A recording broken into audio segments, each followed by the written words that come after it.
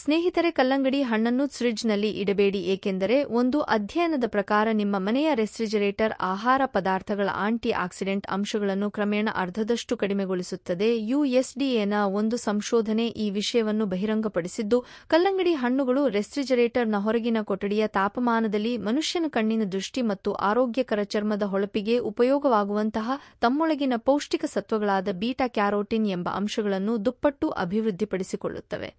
ರೆಫ್ರಿಜರೇಟರ್ನಲ್ಲಿ ಬಿಟ್ಟಂತಹ ಕಲ್ಲಂಗಡಿ ಹಣ್ಣುಗಳು ಇಂತಹ ಶಕ್ತಿಯನ್ನು ಪಡೆದಿರುವುದಿಲ್ಲ. ಏಕೆಂದರೆ ಫ್ರಿಡ್ಜ್ನಲ್ಲಿರುವ ತಣ್ಣನೆಯ ಗಾಳಿ ಆಂಟಿಆಕ್ಸಿಡೆಂಟ್ ಅಂಶಗಳ ಬೆಳವಣಿಗೆಯನ್ನು ಕುಂಠಿತಗೊಳಿಸುತ್ತದೆ.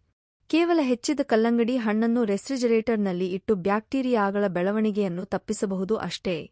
ಕಲ್ಲಂಗಡಿ ಹಣ್ಣಿನಲ್ಲಿ ವಿಟಮಿನ್ ಎರಡು ಆಂಟಿ ಆಕ್ಸಿಡೆಂಟ್ ಅಂಶ, ವಿಟಮಿನ್ ಸಿ ಪೊಟ್ಯಾಷಿಯನ್ ಅಂಶ ಹೇರಳವಾಗಿದೆ.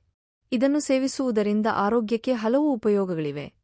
ಆದರೆ ಅದನ್ನು ಫ್ರಿಡ್ಜ್ನಲ್ಲಿರಿಸಿ ತಿನ್ನಬಾರದು ಎಂದು ಅಧ್ಯಯನಕಾರರೇ ಹೇಳುತ್ತಾರೆ. ಕಲ್ಲಂಗಡಿ ಹಣ್ಣನ್ನು ಫ್ರಿಡ್ಜ್ನಲ್ಲಿರಿಸುವುದರಿಂದ ಅದರಲ್ಲಿರುವ ಪೋಷಕಾಂಶಗಳು ನಷ್ಟವಾಗುತ್ತದೆ. ಅದರಲ್ಲೂ ಕಟ್ ಮಾಡಿ ಫ್ರಿಡ್ಜ್ನಲ್ಲಿಟ್ಟರೆ ಅದರ ಪೋಷಕಾಂಶ ನಷ್ಟವಾಗುತ್ತದೆ. ಹಾಗಾಗಿ ಕಲ್ಲಂಗಡಿ ಹಣ್ಣನ್ನು ಫ್ರೆಶ್ ಆಗಿ ತಂದು ಆಗಲೇ ತಿನ್ನುವುದು ಒಳ್ಳೆಯದು. ಫ್ರಿಡ್ಜ್ನಲ್ಲಿ ಇಡಬೇಡಿ. ಈ ವಿಡಿಯೋ ಇಷ್ಟವಾದರೆ ಲೈಕ್ ಮಾಡಿ ಮತ್ತು ನಿಮ್ಮ ಸ್ನೇಹಿತರಿಗೂ ಶೇರ್ ಮಾಡಿ.